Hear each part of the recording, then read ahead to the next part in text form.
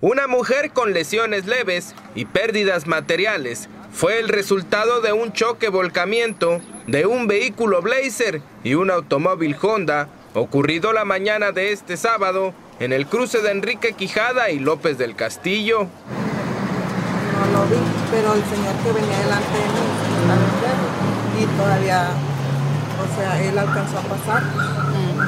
Entonces yo ven- ya cuando yo ya pasé, ya vení que vi que los sí vi que los carros estaban parados y el carro venía demasiado recio. Entonces fue cuando yo ya lo vi y ya, ya no más fue. Pero en ningún momento con los Lo que hizo cuando queda volteada, salió sola, le ayudaron. No, me ayudaron.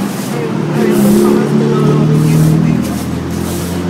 ¿Por qué no la, no la llevaron? ¿No, no se siente mal? ¿Usted no